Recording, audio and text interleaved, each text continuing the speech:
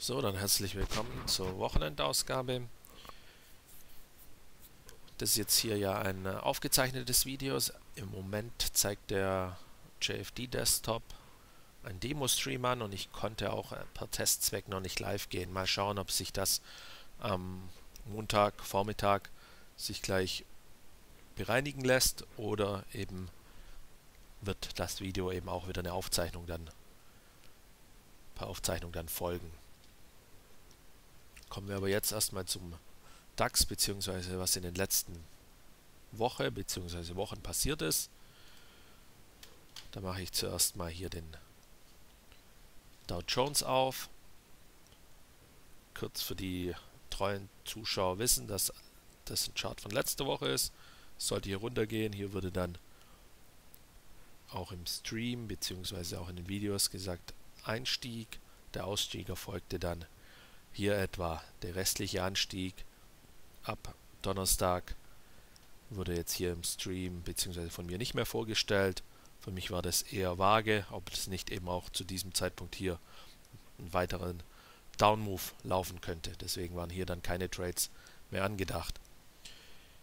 Im DAX, da habe ich hier mal den Future mitgebracht. Den, also DAX Future, die laufen ja und äh, Kassa laufen in dem Sinne fast gleich, außer dass halt natürlich der Kassa um 17.30 Uhr beendet und um 9 Uhr startet und der Future halt bis von 8 Uhr bis 22 Uhr durch, durchhandelt.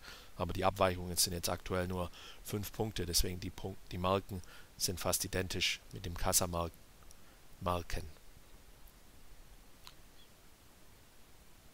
Hier hat sich sozusagen der DAX innerhalb des 4-Stunden-Charts bewegt.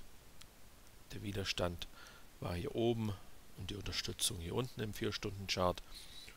Und was jetzt hier natürlich sein kann, eine Öffnung, ja, die eventuell eben gleich über 9900 Punkten stattfinden könnte oder auf jeden Fall in diesem Bereich, dass ein Abgap entsteht. Denn ja, der Dow Jones Index zog ja am Freitag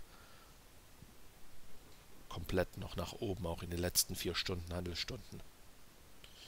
Hat er fast auf, oder ist halt auf Wochenhoch dann geschlossen.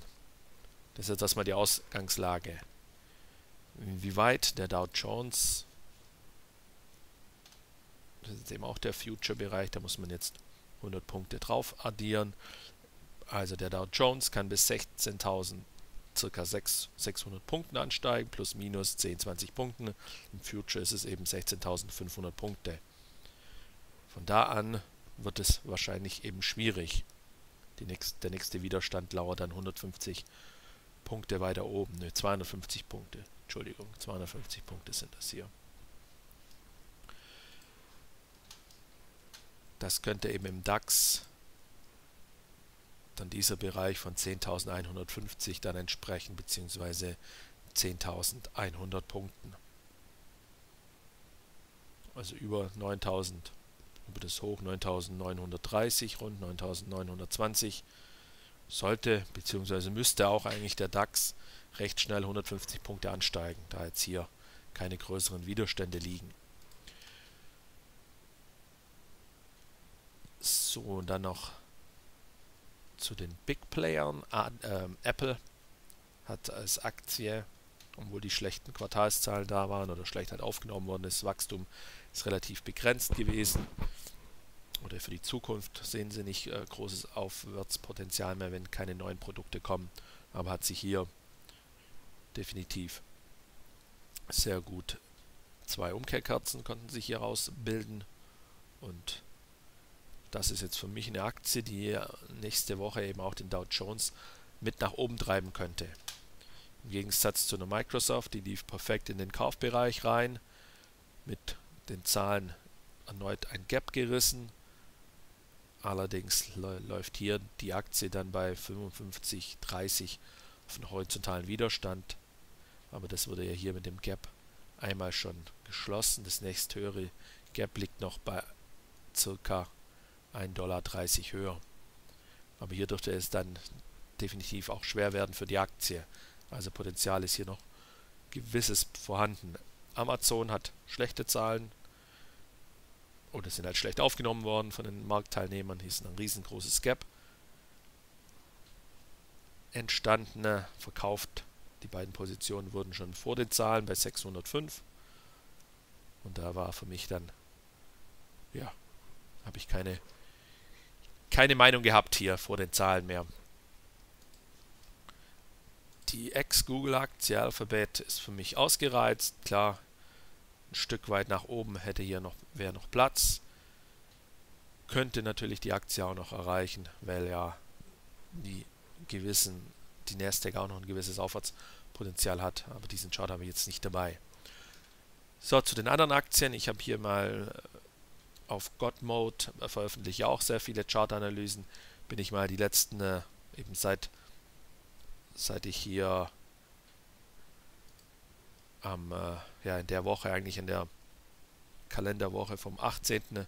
auf das Rebound-Szenario eben ausging. Hier habe ich ja hier auch für JFD eine Analyse veröffentlicht von den S&P 500. Folgt diese Woche noch eine Gegenbewegung, die ist ja dann genau an dem Mittwochabend dann eingetreten und in der Folge ist ja der der hier den S&P 500 Index gewaltig nach oben gelaufen, ja, mehr oder weniger fast an dem Mittwoch dann das Tief erreicht, beziehungsweise in der Analyse waren diese beiden Punkte ja beschrieben. Aber nochmal hier waren dann sehr viele Analysen von mir veröffentlicht. Und hier bin ich jetzt eben vorher kurz durchgegangen.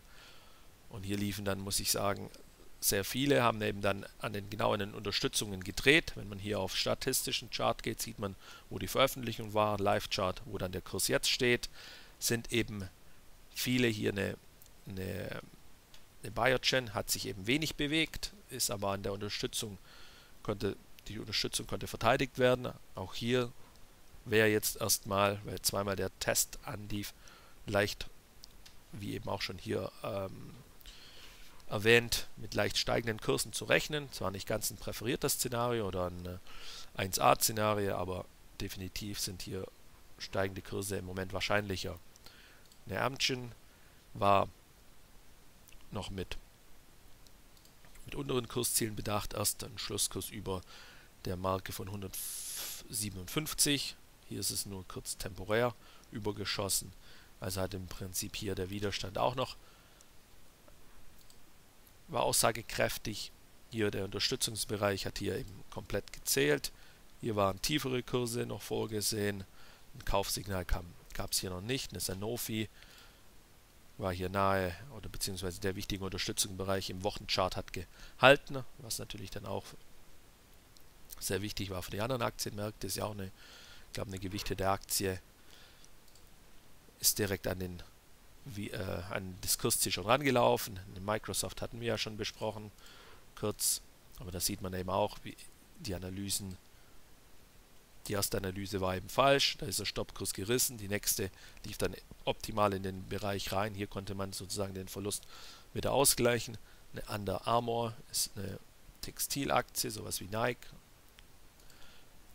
kam eine Wochenunterstützung ran, wurde hier bei 67 sozusagen empfohlen. Aktuell mit guten Zahlen stehen wir 20 Dollar höher.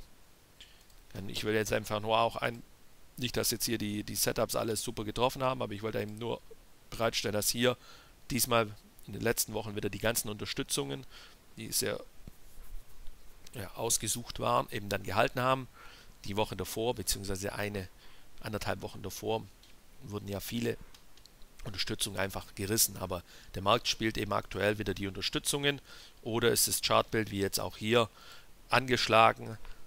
Da gab es eben noch kein Kaufsignal und wenn man auch hier sieht, es sind ja auch nicht alle Setups auf Buy-Setups gewesen, sondern auch sogar die, die auf Short waren, wurden dann sogar erreicht. Ja, oder eine Selgin war eben auch angedacht, ein neues Tief noch zu machen mit den Zahlen zack nach unten und mit der neuen Analyse, die Anfang der Woche noch rauskam, kann man auch hier kurz noch sehen. Ähm, mutige Anleger schlagen jetzt zu, war der Tenor. Als die Analyse dann rauf kam, kann man ja auch wieder sehen.